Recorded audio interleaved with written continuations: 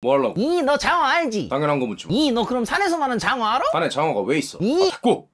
그래서 그게 뭔데? 1년에 딱 한 번만 먹을 수 있는 산속에 장어가 있다 그래 그래 내가 딱 갖고 아, 와 됐고! 제품 뭔지 물어봤다. 하늘마 하늘만은 또 뭐야? 이 일반 마처럼 땅에서 자라는 게 아니고 나무에 열매가 달려서 하늘마라고 부른 게야 그럼 마네. 이- 어디서 샀어? 이 월악산 하늘마 얼만데? 이 요거 3kg에 22,500원 몇 개나 들었어? 이 24개 들었네 무지하게 많다야 어떻게 먹고 어떻게 보관하는 거야? 이 요거 그냥 물에 씻어서 껍질째 먹어도 되고 마 사용하는 것 마냥 그냥 먹거나 갈아 먹거나 요리할 때 쓰면 된대야 그럼 이제 먹어봐. 그래요? 요상하게 생겼네 마는 마인가 보네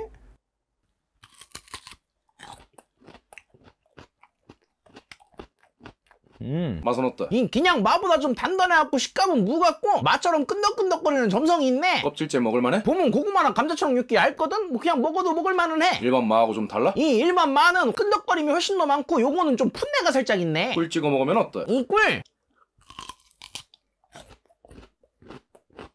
음. 이 꿀 찍어 먹으니까 꿀맛이지. 풋내가 조금 들라고 좋네. 어떻게 먹으면 더 맛있을 것 같아? 이거 전부 쳐먹거나 우유 바나나 꿀 넣어가지고 같이 갈아 먹어도 맛있겠다. 그래서 또 사 먹어 안 먹어? 이게 산속에 장어만큼 좋다는 거 아니오?